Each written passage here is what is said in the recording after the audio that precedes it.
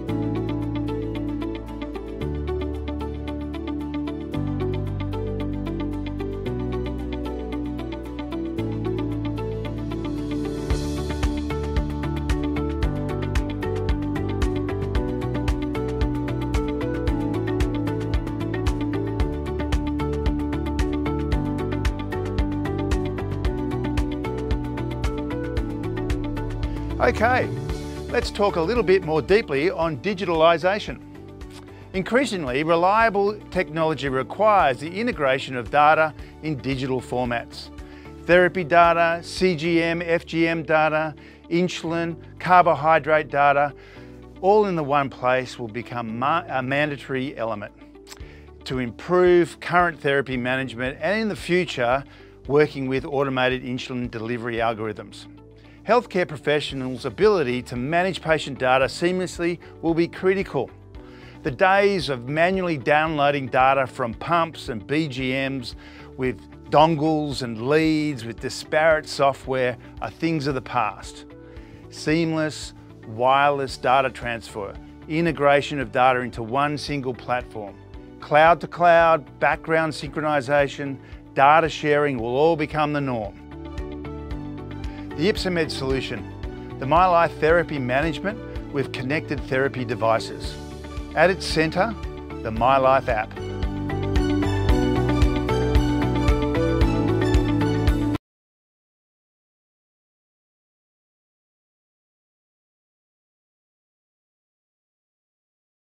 The introduction of MyLife Assist, planned for late 2020 or early 21, is a perfect example.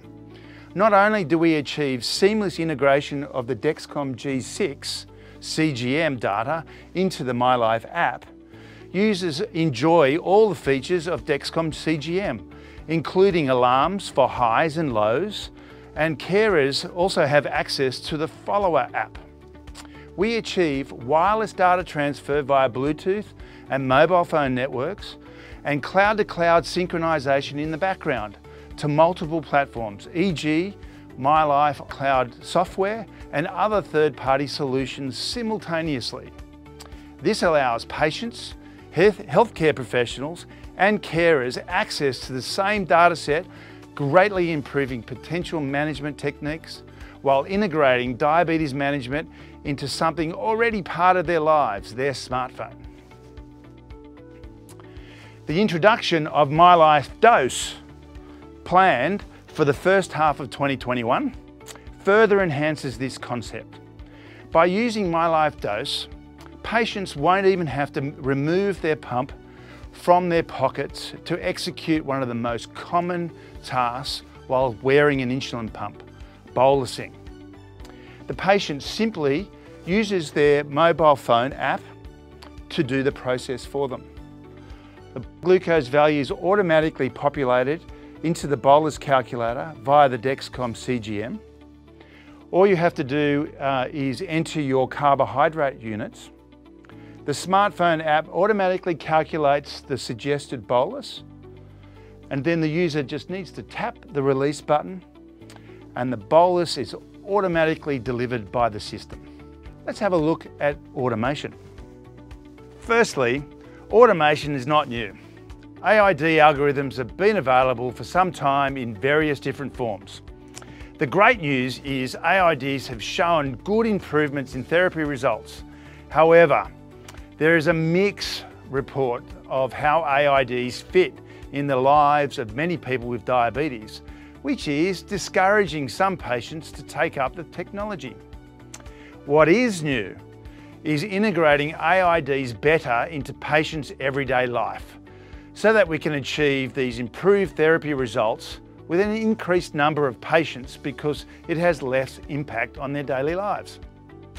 Future AIDs will see a move with these algorithms moving off devices like insulin pumps and onto smartphones which I've already said are an intrinsic part of most patients' lives. We already see this trend with AIDs designed and built by patients themselves, the so-called DIY systems. This, coupled with improvements of prandial insulin delivery by linking carbohydrate estimation uh, to food databases, should potentially deliver better therapy outcomes and a higher penetration of patients wanting to use the new automated therapy options. The introduction of MyLife Loop in mid-2023 is another good example of future trends becoming reality soon. With MyLife Loop, patients can operate all aspects of their MyLife YpsoPump using the smartphone app.